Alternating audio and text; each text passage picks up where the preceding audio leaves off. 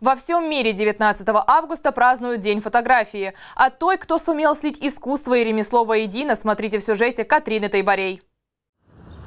Сквозь объектив. Именно так видит мир наша героиня Екатерина Эстер. Любовь к фотографии зародилась еще в детстве. Тогда в качестве моделей были фрукты, домашние животные и предметы быта. А как только под прицел объектива попал человек, талант девочки было невозможно не заметить. К нам в гости пришла подруга у мамы. Я просто решила ее поснимать, пока они разговаривали пощелкала ее, и она потом показывала ей, и она говорит, «Э, ой, так красиво получилось, так интересно, так классно. Я вот после этого задумалась, может быть, мне, ну, может, мне и правда получается лучше, чем у всех остальных.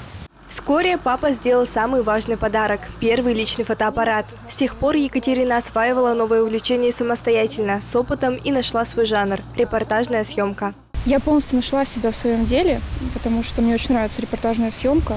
Э, но также я еще делаю портреты, ну, чисто для себя уже.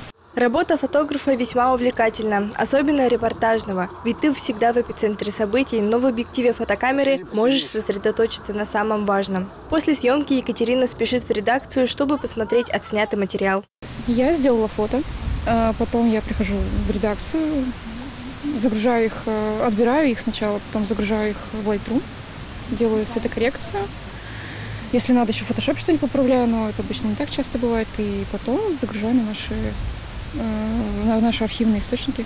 Так проходят рабочие будни. Екатерина поделилась с нами своей сокровенной мечтой. Если я мечтаю поехать куда-нибудь э, в Африку или в какую-нибудь другую страну, поснимать народности другие, кроме нашей.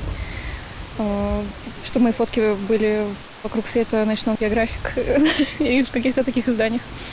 Сочетать хобби и работу – именно то, о чем мечтает каждый. И к этому стоит стремиться, ведь работа должна быть по душе и приносить удовольствие. Катерина Тайбарей, Вадим Стасюк, телеканал «Север».